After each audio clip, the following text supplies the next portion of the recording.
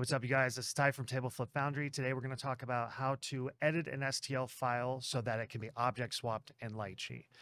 Sometimes when you're doing uh, pre-supports or supports for yourself, or if you're an artist, you're doing supports for your client or customers, you may have either a variation or an edit that needs to take place after you've printed the file. So, for example, we're looking at an arm and the key is slightly too big. And so we printed it, we tried to put it together, we realized too late that it didn't quite fit together and we're going to have to shrink this key a little bit. Well, we don't want to re-support this entire file. You can see it's very complex. We've done a lot of work to get it printable. So what Lychee does is it has an option in the uh, layout tab where you can, we can actually see it here, where you can load in a model like this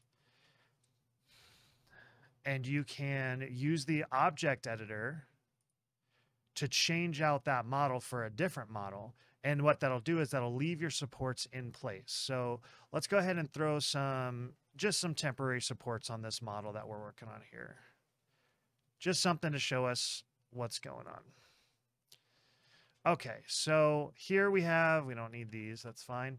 Um, supports on a model. Now let's go and take a look at editing the file in Blender so that we can swap out this one with the smaller key. So here's the here's the file in Blender and there are a few things we need to keep in mind. So I know when you go in to edit a file, it might you might be inclined to move it or rotate it, maybe scale it, change its location, any of those things that might make it easier for you to work on. But it's really important to understand that when we load that STL, that STL carries a lot of information with it.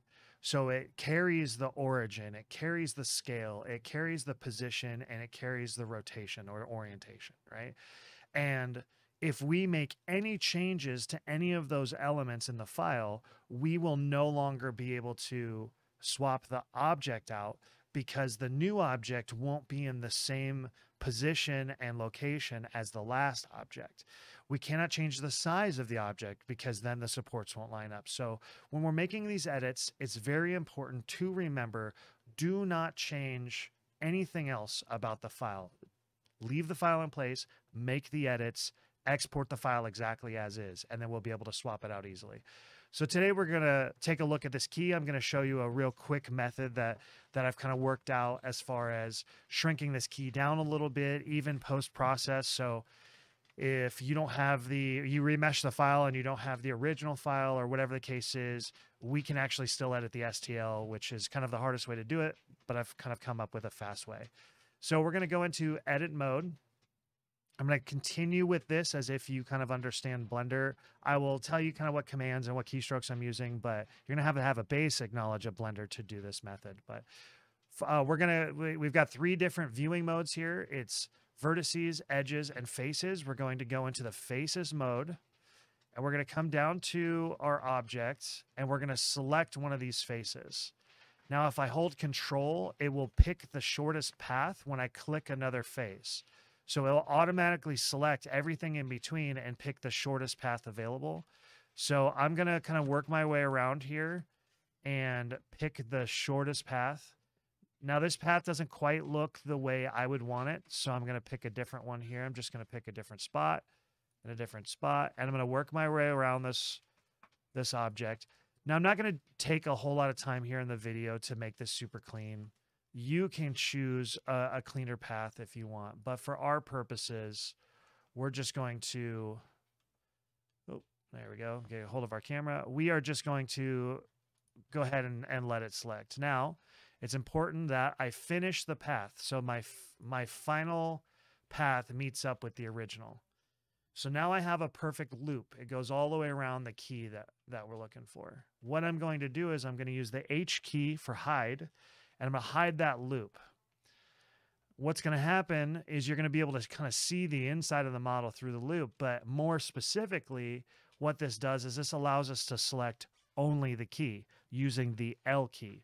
So L stands for linked. So you'll notice when I click the L key, it only selected the key. If I were to do it down here, let's say I clicked L on the chain, it's going to select the whole arm. That's because all of the elements of that object are linked together.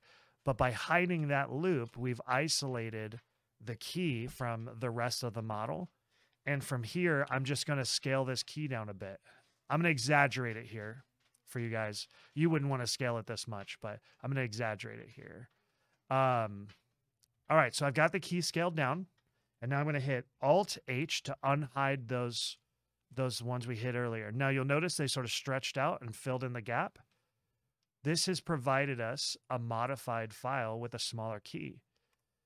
Now what we're going to do is export this file and we're going to make sure we hit selection only. We're going to call this arm2 underscore fixed. Perfect. All right. We didn't change the orientation. We didn't change the location. We didn't change the size and we didn't change the origin. These are all very important factors.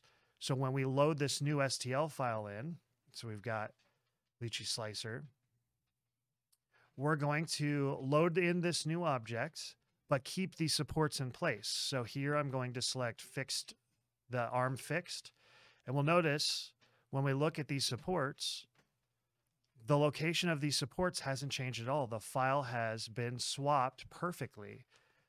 What I'll do is let me bring in this other arm, the original arm, so we can kind of compare. All right, so here's the original arm.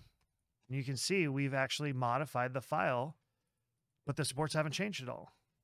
So this just saved me potentially two or three hours of work in order to fix this key because I understood all of the elements that are taking place when modifying the file.